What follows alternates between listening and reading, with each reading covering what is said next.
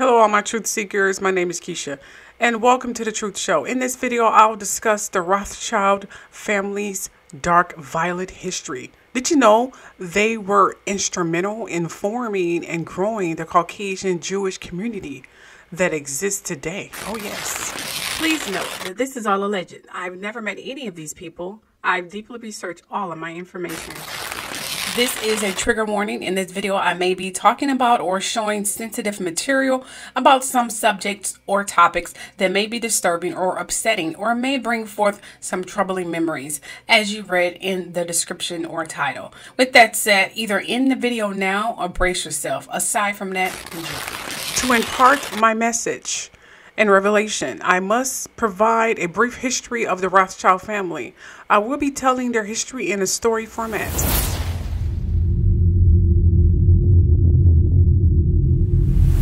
Upon a time, in the bustling streets of the 18th century, Frankfurt, Germany, a man named Mayer Amschel Rothschild. He was no ordinary man and a court factor to the German Landgraves of Hesse-Kassel. But Mayer Amschel had grander ambitions than merely serving the nobility. Oh, yes. He dreamed of creating a legacy that would span continents and generations to come.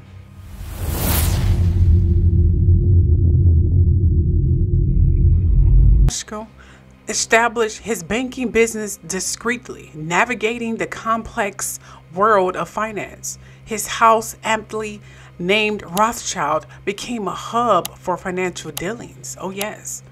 Unlike other court factors, Mayer Amschel was cunning. He didn't squander his wealth, but carefully preserved it for the future.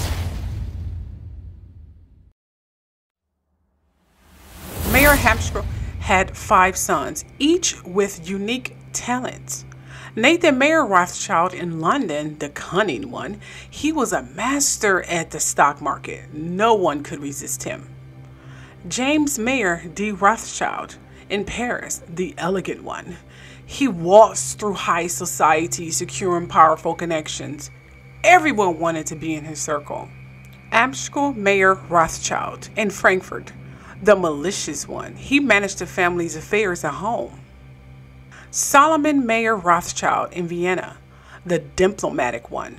He brokered deals across borders. No one could make a deal like him. Karl Mayer Rothschild in Naples, the adventurous one. He explored new territories for business. He was always looking to expand. Hey, my truth seekers, did you know that I have a blog? A blog that I post personally selected stories onto. I also have an online journal where I give you a peek at my personal life and more. So please go to the truthshowchannel.blog. All the links are below.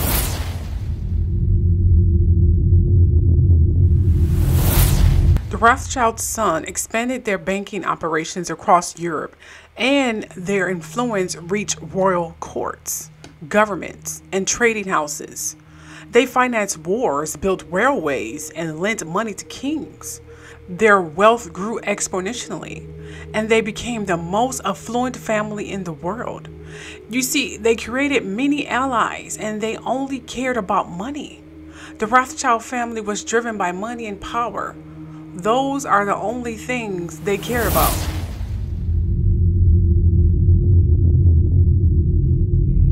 The Rothschild were ennobled in the Holy Roman Empire and the United Kingdom. Their coats of arms adorned palaces.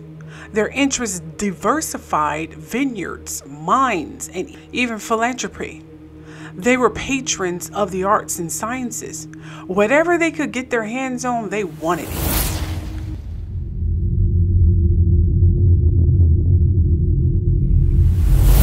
Great wealth came whispers. Conspiracy theories sprouted like weeds. Some claim they control governments with all their money and power. They did. Now, other whispers of secret societies, Freemasonry, KKK, Bohemian Grove, with all their money, sick desires followed. Anti Semitism tainted their legacy. They put work into building up being the false descendants of Jews slash Jesus. And the newly created land they created to validate it. Not to mention the money they invested into many presidents' campaigns to ensure this secret stays a secret. You keep my secret, I continue making you rich.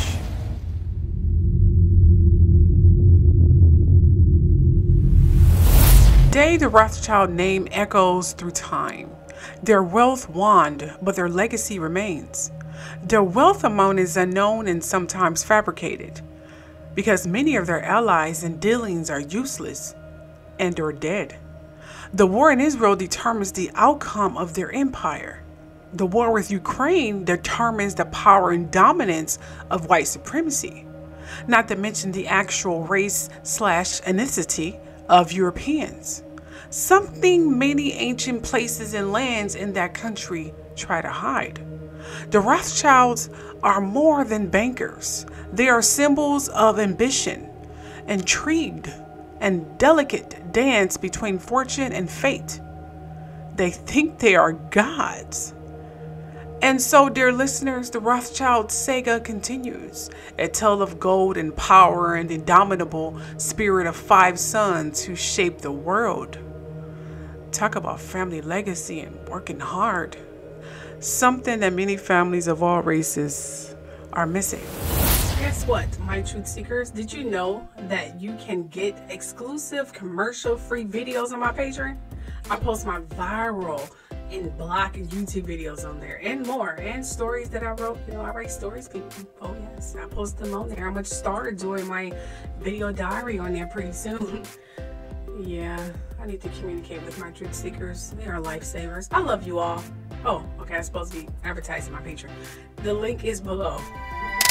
Now let's get scandalous.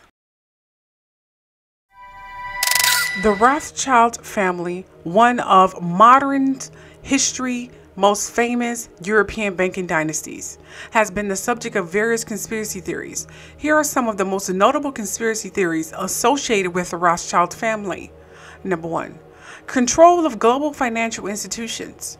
Conspiracy theories have claimed that the Rothschild control global financial institutions through wealth. Rothschilds, who work always together. That will be your power. Just how rich and powerful is Lord Evelyn Rothschild? Historically, the Rothschild family wealth was hidden in underground vaults. The Rothschild secret financial records were never audited and never accounted for. Their family commissioned biographies give the illusion that their family fortune has dwindled, but researchers estimate their wealth at close to $500 trillion, more than half the wealth of the entire world.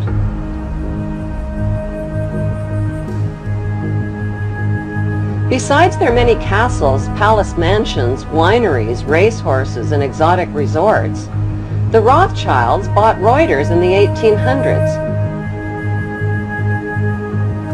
Reuters then bought the Associated Press, which selects and delivers the same news stories to the entire world, day after day.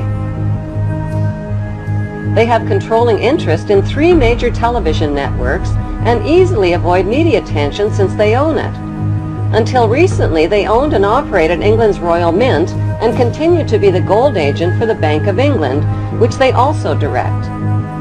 They control the LBMA, London Bullion Market Association, where 30 to 42 million ounces of gold worth over $11 billion are traded daily. The Rothschilds earn millions weekly just on transaction fees alone. They also fix the world price of gold on a daily basis and profit from its ups and downs. Over the centuries, the Rothschilds have amassed trillions of dollars worth of gold bullion in their subterranean vaults and have cornered the world's gold supply. They own controlling interest in the world's largest oil company, Royal Dutch Shell.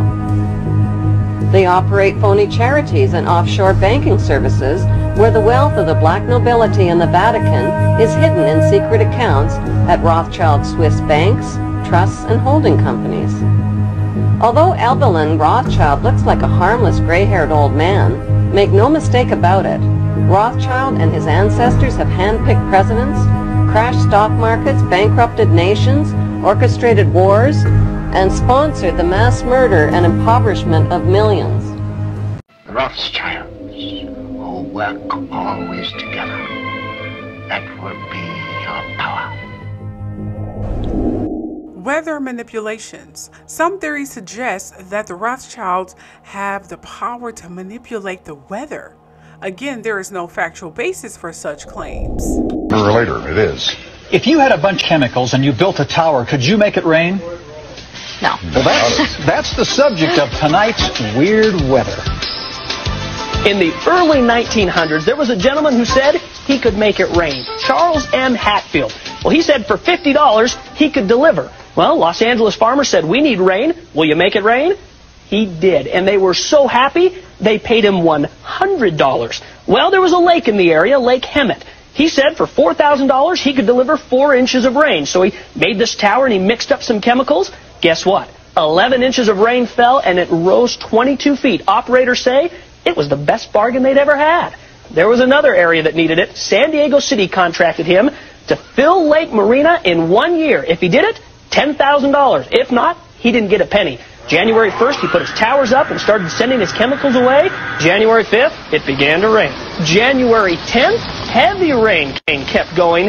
And by January 15th, it had been a downpour for nearly five days. Okay, so the rain did come, and apparently it was Hatfield that was doing it, but look what happened after that. On the 19th, Morena Reservoir filled. The 26th, record-breaking rains were still falling, and the next day, dams were rupturing, huge amounts of water pouring out of the mountains, heading into San Diego. 20 people lost their lives. 35 inches of rain.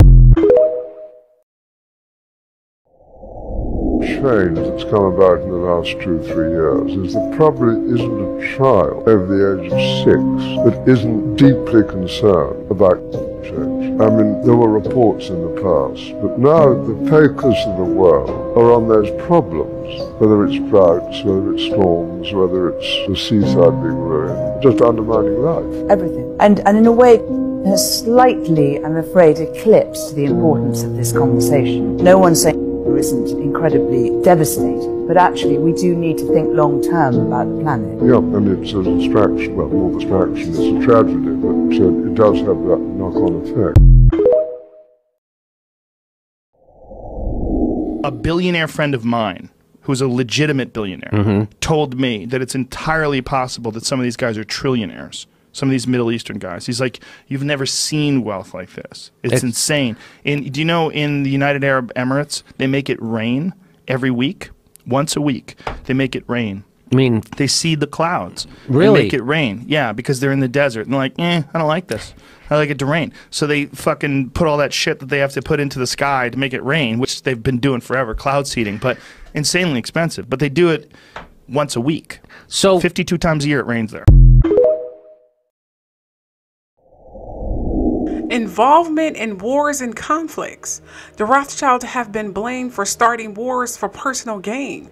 For instance, a widely circulated but false account claims that Nathan Rothschild profited immensely from the Battle of Waterloo by receiving early news of Napoleon defeat. Oh, yes. Frankfurt, Germany. 50 years after the Bank of England opened its doors, a goldsmith named Amschel Moses Bauer opened a coin shop, a counting house, in 1743. And over the door, he placed a sign depicting a Roman eagle on a red shield. The shop became known as the Red Shield Firm, or in German, Rothschild. When his son, Amschel Meyer Bauer, inherited the business, he decided to change his name to Rothschild. Amschel soon learned that loaning money to governments and kings was more profitable than loaning to private individuals. Not only were the loans bigger, but they were secured by the nation's taxes. Mayer Rothschild had five sons. He trained them all in the skills of money creation, then sent them out to the major capitals of Europe to open branch offices of the family banking business. His first son, Amschel Mayer, stayed in Frankfurt to mind the hometown bank. His second son, Solomon, was sent to Vienna. His third son, Nathan, was clearly the most clever. he was sent to London at age 21 in 1798, a hundred years after the founding of the Bank of England. His fourth son, Karl, went to Naples, and his fifth son, Jacob, went to Paris. In 1785, Mayer Amschel moved his entire family to this larger house, a five-story dwelling he shared with the Schiff family. This house was known as the Green Shield. The Rothschilds and the Schiffs would play a central role in the rest of European financial history and in that of the United States.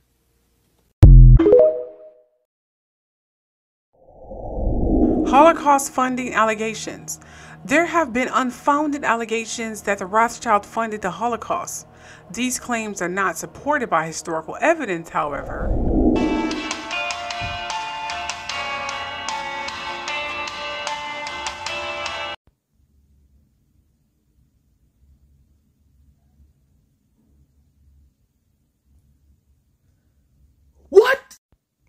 A TikTok saying that the Holocaust was a lie showed up on my For You page. I'm not even gonna question why how it got on my For You page. The question I have is why does it have so many likes? Like, was there really like hundreds of thousands of people that was looking at this and be like, yeah, th- this guy is cooking? Like, what? Assassination of U.S. presidents.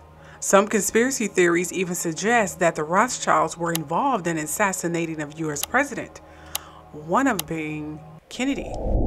Today we're again to the babushka lady who was seen filming the assassination of JFK on the day of his assassination in Dealey Plaza, Dallas, Texas. Now this lady's important because she's the only woman seen continuing to stand up as shots rang out. Everyone is seen running in opposite directions or hitting the ground.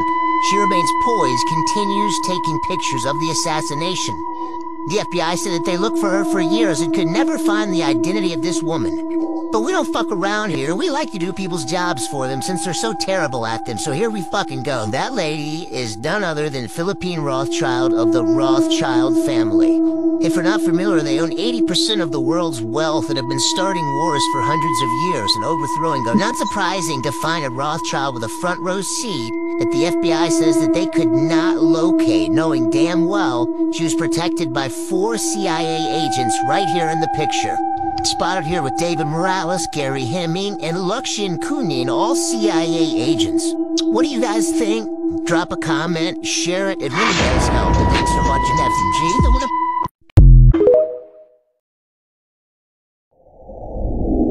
To sum it up, the Rothschilds have dabbled in many things the Holocaust, the building of today's Jewish community, and starting an entire island of their kind of Jewish people.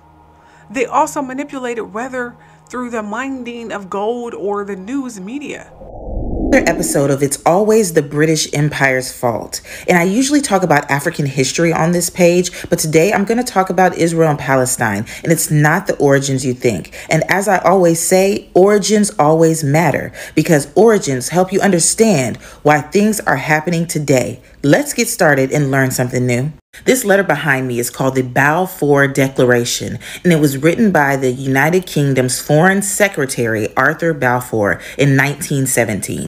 Now, there's been some debate over the years, but most historians agree that this is the core component that indirectly led to the emergence of Israel and the conflict between Israel and Palestine. Now, this letter was written to Lionel Rothschild, a figurehead of the British Jewish community. In this short 67 word letter had a seismic effect on Palestine that is felt to this day. It committed the British government to the establishment in Palestine of a national home for the Jewish people and to facilitating the achievement of this object. Then the British Empire created a mandate in 1923 and it lasted until 1948. During that period, the British facilitated mass Jewish immigration. Many of the new residents were fleeing from in Europe, and they also faced protests and strikes. Palestinians were alarmed by the country's changing demographics and British confiscation of their lands to be handed over to Jewish settlers. And because of the British Empire, this is what happened to Palestinian land over the years.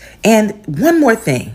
And it wasn't until 2017 when the UK government acknowledged its responsibility. Now, keep those words in mind acknowledged its responsibility. And the only reason they acknowledged it is because an e petition that was launched on the official website of the British Parliament attracted nearly 14,000 signatures by British nationals in just a few weeks. Because they were bound to respond to the petition because it managed to pass the benchmark for an official response. The never sorry government responded 10 days later, only to confirm that it will not extend any apology over the Balfour Pledge. Oopsie, no my bad, nothing. They said, oh, um, I guess we should have called for the protection of political rights of the non Jewish communities in Palestine, particularly the right to self determination, but said that lasting peace must now be established through a two state solution. I hope you learned something new. Family, look at this. State of Israel is born. Look at the date of the news article. Sunday, May 18, 1948, Jerusalem. Before it was Palestine, the green one, and then it turned into white Israel. And again, a very old map with Palestine. And another one, the Palestinians say that they are the victim and the land is theirs, and the Jews say that it's theirs. You see, this woman family, she was one of the first people that went to Israel, and this is what she has to say. And we went from Italy to Palestine. It was not Israel yet, it was Palestine. What? How did you get? You went by boat. By boat. It wasn't we went to Israel when Israel was not Israel yet. Yeah. Then What caught my eye is this date, 1945. If we grab the news article, we will see preparation for air raids Palestine. The date is 31st of January 1931. Family, does this mean that the war already started before 1931? This means that they have been under attack since 1931 going back. And right now they are going to take it even a step further. What do you think, family? Unlock hidden knowledge over here. Link in bio. I'm going to very carefully open this up because, as I said, this is an uh, original document from 1829. And here is the article. I'll read it to you now. Jerusalem. There is a report that the Rothschilds have purchased Jerusalem. We see nothing improbable that, in the pecuniary distress of the Sultan, he should sell some part of his dominions to preserve the rest, or that the Rothschilds should purchase the ancient capital of their nation. They are wealthy uh, beyond desire, perhaps even avarice, and so situated it is quite reasonable to suppose that they may seek something else to gratify their ambitions that shall produce most important effects. If secured in the possession, and which may be brought about by money, they might instantly, as it were, gather a large nation together, soon to become capable of defending itself and having a wonderful influence over the commerce and the conditions of the East, rendering Judea again the place of a deposit of the large portion of the wealth of the ancient world. To the Sultan, the contrary is of no great value, but in the hands of the Jews, directed by such men as the Rothschilds, what might it not become, and in a short period of time? The Sultan is in great difficulty. Baron Rothschild was proceeding to Constantinople, and a second rebuilding of the temple is not among some of the most strange things expected in these strange times by some of the Jews. So there you have it, folks. The Rothschilds purchased Jerusalem, and as has been confirmed in this recent interview, they also formed the nation of Israel as we know it today.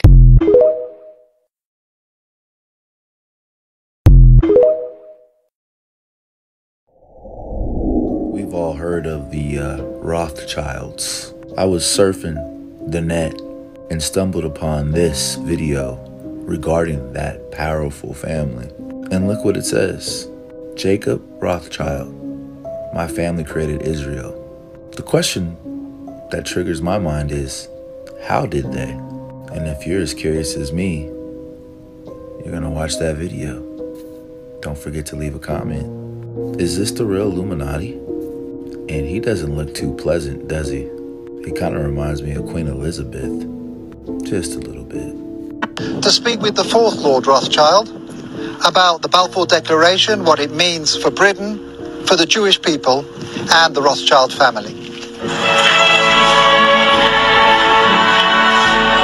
The Foreign Office, November the 2nd, 1917.